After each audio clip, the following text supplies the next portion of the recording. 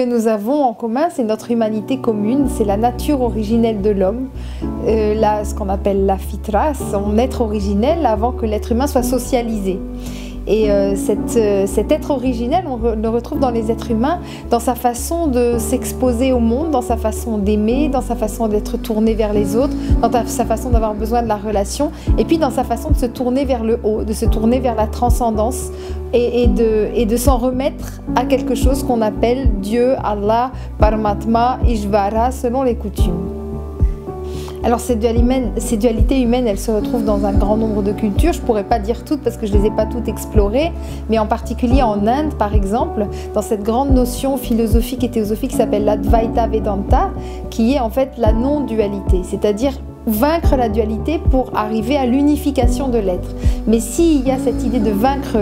la dualité, c'est bien qu'il y a une idée de dualité. Et euh, on retrouve dans beaucoup des cultures dans lesquelles j'ai vécu cette notion que l'être humain, il est fait d'une nature une qui va vers le bas et une qui va vers le haut. Une qui est liée à ses instincts, à sa nature animale, à ses pulsions, à, ses émotions, et une qui est liée à ses aspirations à devenir un être meilleur et à devenir un être complet, c'est-à-dire un être réalisé sur la terre. On retrouve cette notion dans le bouddhisme, dans l'hindouisme bien sûr très élaboré, dans le jainisme, dans le sikhisme, dans l'islam, notamment dans la branche ésotérisme de l'islam qui développe euh, parfaitement cette notion.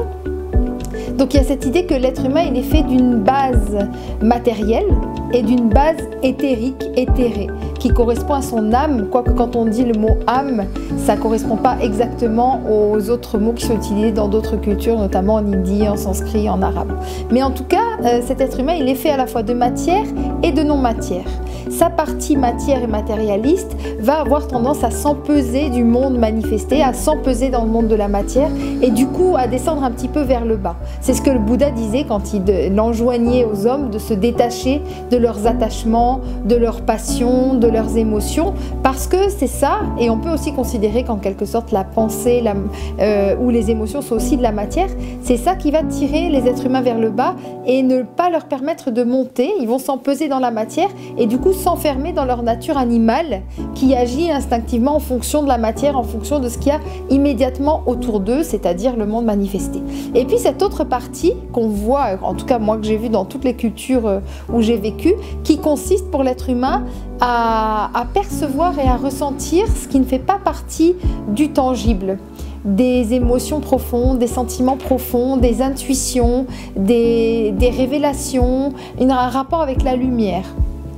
Et cette perception qu'a l'être humain instinctivement de quelque chose en lui qui vit et qui survit après la mort, selon beaucoup de traditions, euh, cette perception-là a donné lieu à la construction de religions qui ne sont rien d'autre que l'institutionnalisation du sacré. Mais du coup, dans ce que moi j'ai vu, l'être humain a conscience de sa nature sacrée et a théorisé, a développé un, bon nombre de théories autour de cette nature sacrée, cette nature originelle finalement de l'homme qui, une fois qu'elle a transcendé le côté matière, et le côté matérialiste va pouvoir permettre à l'être humain de s'élever spirituellement, de devenir un être réalisé parce qu'il aura vaincu ses passions, il aura vaincu ses défauts qui naissent en fait au contact du monde, en fait, quand l'être humain est au contact du monde, des expériences qu'il va avoir avec le monde. Et donc c'est transcender, se débarrasser de cette nature qui tire vers le bas pour monter et pour monter dans un état d'être beaucoup plus subtil, beaucoup plus intérieur, beaucoup plus lié aux émotions et aux ressentis subtils que l'on peut avoir en deçà de ce qui est directement manifesté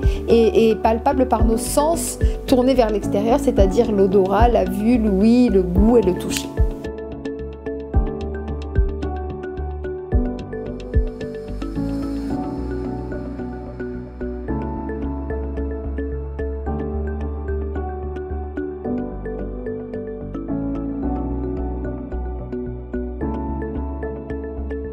Alors moi, je ne peux pas parler de beaucoup de traditions, mais je connais plus les traditions qu'on va retrouver par exemple dans le monde indien, en Thaïlande, au Cambodge, en Malaisie. Euh, les traditions aussi qu'on appelle en Afrique animisme, mais dans l'anthropologie, on ne sait pas exactement quelle est la définition exacte de animisme, mais l'idée qu'en fait euh, les choses vivantes sont animées, c'est-à-dire dotées d'un principe actif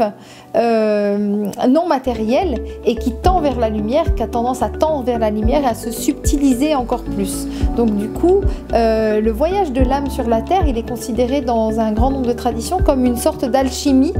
où l'être humain passe par tout un processus où il est chauffé en quelque sorte par l'expérience du monde, où il est testé, où il est affiné aussi, euh, afin que son être se transforme d'un être grossier à un être subtil et éthéré, et qui sorte justement du monde des formes pour avoir accès au réel qui est ce réel intérieur, ce réel des réalités profondes de l'existence, donc des questions métaphysiques en fait. Et ça, cette problématique a été extrêmement bien théorisée en Inde par les textes du corpus de l'hindouisme, les derniers textes notamment qui s'appellent les Upanishads ou le tantrisme kashmiri même, qui ont vraiment développé une métaphysique très très subtile et très fine sur ce voyage de l'âme sur la terre qui tend à se pour pouvoir sortir de cet enfermement, de cette cage et ne devenir qu'esprit avant même la mort du corps physique. Et les, les êtres humains sont dotés dès leur plus jeune âge de tout un tas d'outils, de tout un arsenal d'outils qui leur permet de garder vivante leur âme, puisque, et ça on le voit tous et dans toutes les cultures, les bébés, les enfants, ils ont une lumière extraordinaire normalement, la plupart du temps. Et cette lumière extraordinaire, c'est justement dû à la vitalité de leur âme, de leur nature intrinsèque, de leur nature transcendantale. Et du coup, en Inde, cette âme, elle est tellement prise au sérieux et tellement considérée que dès leur plus jeune âge, les enfants indiens, quelle que soit leur confession et leur appartenance religieuse, sont encouragés à prendre soin de leur âme par différentes techniques, par, euh, suivant les religions, les confessions, par des techniques de méditation, par des techniques de répétition de, de syllabes euh, particulières qu'on appelle les mantras dans l'hindouisme, le zikr dans le dans l'islam le soufisme, euh, dans le bouddhisme aussi les mantras. Donc c'est cette répétition de mots spécifiques, de syllabes spécifiques sur une tonalité spécifique permet aux êtres de faire vibrer leur corps, leurs différents corps physiques, éthériques, astrales, de façon beaucoup plus subtile. Et cet entraînement va faire naître à l'intérieur de l'être une conscience de son essence, de son âme, quoique le mot âme enferme trop, mais de son essence en tout cas. Et euh, donc du coup, il peut la palper. Et donc en étant conscient de son essence et en étant en contact avec son essence, l'être humain va ensuite spontanément euh, aller vers des pratiques euh, rituelles. religieuses et rituelles qui vont lui permettre d'affiner et de garder le contact avec son âme. En fait, les gens ont perdu le lien qui les unit à cette essence dont ils ont le sens. Et dans des sociétés traditionnelles, par exemple, même s'il n'y a pas une éducation autour de ça, les êtres humains ont confiance dans ce qu'ils ressentent profondément de ce qui n'est pas palpable. Or, en Occident, beaucoup de substitutions se sont mises entre l'homme et son rapport au divin et son rapport à la transcendance et son rapport à la nature. Donc les êtres humains aujourd'hui, en tout cas euh, urbanisés, et c'est même plus dans le monde euh, occidental, c'est dans le monde postmoderne au sens large du terme, qui est finalement mondialisé maintenant partout sur la planète, euh, eh bien les êtres humains sont coupés de, de leur contact avec leur propre être véritable parce qu'ils sont plus connectés aux autres êtres. Dans une société très individualiste, l'être humain n'est plus connecté aux autres êtres, qui peut lui être un miroir de son âme aussi, n'est plus connecté aux forêts aux arbres. Les Japonais sont en train de revenir à la forêt, je ne me rappelle plus comment s'appelle euh, leur technique, mais ils font des journée entière où ils vont dans la forêt, dans les entreprises, où ils font des câlins aux arbres, où ils se reconnectent aux arbres. Donc les sociétés y reviennent en fait. Mais comme on a perdu non seulement cette connaissance, mais aussi cette connaissance intuitive intérieure de l'essence de notre être, les chemins pour y parvenir sont difficiles, sont semés d'embûches et se perdent dans une multiplicité qui, si elle n'est pas raccrochée à une source, euh, n'est que de la multiplicité en fait. Mais c'est possible. Mais c'est bien sûr possible puisque c'est la nature fondamentale de l'homme. Et c'est un état naturel. Exactement. Et euh, en tant qu'individu et en tant que société, comment pouvons-nous encourager à montrer nos meilleures qualités humaines justement? Je pense en se donnant l'exemple les uns aux autres. C'est-à-dire qu'on a tous finalement cette connaissance profonde que tout le monde aspire à être un bon être humain, enfin je pense fondamentalement, et même les gens qui n'y arrivent pas pour différentes raisons, ils sont malheureux de ne pas y arriver. Donc euh, finalement, en donnant l'expérience de l'amour aux autres, on peut peut-être réveiller ça chez eux, en, provoquant cet effet miroir, puisqu'on est tous les miroirs les uns des autres, c'est probablement pas par tout un ensemble de théorisations, de techniques. On est déjà une société technologique, technocratique, techniciste, je pense pas que c'est une technique qui va permettre ça parce que les gens vont confondre la technique et le but, vont s'attacher à la technique et vont oublier où ils vont. Et la technique ne donne pas la connaissance des sentiments profonds. Donc je pense que c'est vraiment en étant nous-mêmes, chacun de nous, euh, en, contact avec notre être profond et dans cette, croyance profonde ou cette foi profonde qu'on peut euh, augmenter cet être, qu'on peut l'embellir, bah, au contact de l'amour, au contact de la fraternité, de la miséricorde des uns pour les autres, pour soi-même aussi, pour sa propre âme. En donnant cet exemple, c'est pas juste un exemple qu'on donne, c'est aussi permettre à l'autre de ressentir par le biais de soi-même ce qu'il ne ressent plus de lui. Rien à dire. Et euh, euh, dans la continuité, alors, qu'est-ce que l'amour véritable au sens le plus élevé? Comment est-ce que vous le percevez Comment est-ce que vous le Alors oui, je vais dire comment je le perçois parce que c'est une question très piège, très personnelle. Et puis qui peut décrire l'amour véritable Ou alors euh, les mystiques soufis l'ont beaucoup décrit, les mystiques de l'Inde l'ont beaucoup décrit, cet amour véritable. Euh, si on est théiste, si on croit dans l'existence d'une divinité euh, fondamentale, et eh ben cet amour véritable, ce serait la source même de notre existence puisque selon différentes traditions, l'hindouisme, l'islam, la chrétienté, le judaïsme, le Dieu, le divin a créé l'homme par amour en fait. Et donc la raison pour laquelle on existe, c'est déjà l'amour. Et l'être humain, finalement, il a différents plans d'existence. Sur son chemin, il a différentes étapes à franchir. Et à travers ces étapes, quel est le fil directeur qui le conduit jusqu'à lui-même? C'est l'amour. Et tous ces amours-là, ça commence par l'amour de la mère, parce que l'être humain est, attaché à sa mère de façon physique et métaphysique aussi. Euh, l'être humain ne cesse de passer d'amour en amour. D'abord l'amour de la mère, des parents, de la famille, et puis après l'amour pour son mari, pour sa femme, pour ses enfants, pour ses petits-enfants. Et en fait, c'est une succession d'étapes d'amour qui ne sont que des entraînements pour ressentir la plénitude de l'amour divin qui ne peut pas être, ou peut-être rarement, j'en sais rien, contenu dans un seul être humain. Et du coup, bah, l'amour véritable, en fait, c'est la réminiscence d'où on vient. Et c'est pour ça que les êtres humains courent après l'amour dans le monde entier pour pouvoir retrouver l'essence de leur existence, la raison même de leur, existence. Alors le problème, c'est que dans les sociétés traditionnelles, les gens savent très bien que cet amour qui vivent, dont ils font l'expérience dans le monde, à travers les êtres, n'est qu'un succédané, qu'un petit morceau de l'amour divin, ou un petit morceau, c'est peut-être pas le terme, mais une,